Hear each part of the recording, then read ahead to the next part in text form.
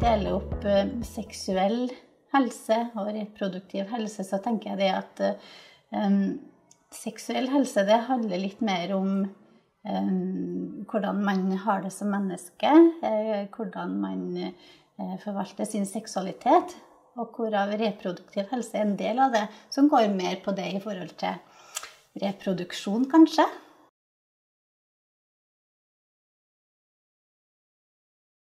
Oftest spørsmål omkring det med, med svangerskap og eh, medikamenter. Hvordan går det hvis jeg blir gravid eh, med sykdommen min? Hvordan går det med svangerskapet? Hvordan går det med barnet?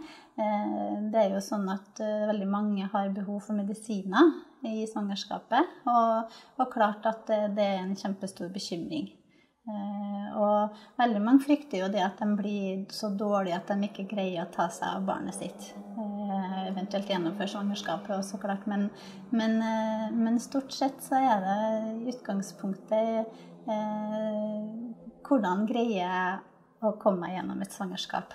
Det å gå gjennom en fødsel er jo en veldig stor fysisk eh, påkjenning, men også eh, det er mye andre omveltninger som skjer. Men, men det å, og de lurer jo på om, om, de er i stand til å føde vanlig, og om hvordan det skal gå. Det er også litt avhengig av hvor, hvor dårlige de er, for å si det sånn. Hvor prega de er av sykdommen sin. Men nå er det jo sånn at eh, det er svært sjelden at eh, den revmatiske sykdommen er til hinder for en vanlig fødsel. Det er utrolig sjelden at det på en måte i seg sjøl er en, en, grunn til f.eks. keisersnitt.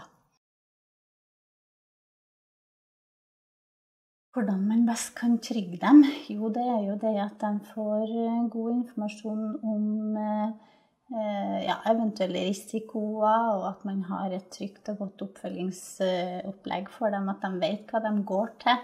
Eh, at de eh, har noen de kan ringe til hvis de lurer på noe. Og at det er ikke minst koordinert samarbeid mellom de ulike instansene. Både sykehus og jordmor og fastlege i kommunen og, og, sånne ting. Det er viktig. Og at helsepersonell er trygge i det de holder på med. Ulike livssituasjoner, ulike hendelser, alt som skjer i livet, det kan jo påvirke også den seksuelle helsa og seksualiteten. Og som jordmor da, så er det jo på en måte den fasen av livet der folk skal bli foreldre. De eh, er i, en situasjon der det krever veldig mye omstilling. Og, altså det eh, omtales jo i litteraturen som en eh, krise, faktisk, det å være i den fasen. Og i ulike kriser så utfordres jo seksualiteten nå. Og du kan jo si sånn som eh, det å gjennomgå et svangerskap og en fødsel og plutselig ha ansvar for et uh, nytt lite menneske, ikke sant? Og så har du også en partner du skal prøve å opprettholde et uh, godt forhold til, og det er mye som skal på plass.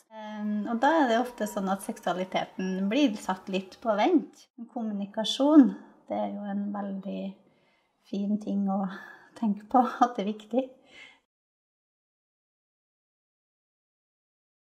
Jeg tenker jo det at det at man sier at nei, det, vi kan ikke ta det opp fordi at pasienten syns at det, det, er noe som er for privat, så tenker jeg det at uh, det handler litt om at, uh, at uh, man ikke har den forståelsen for at seksualitet er av såpass stor betydning.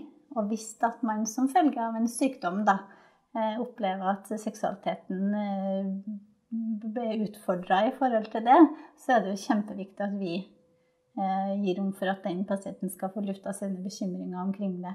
Og igjen så er jeg ikke noe redd for å si at den pasienten som syns det er upassende, han sier noe ifra.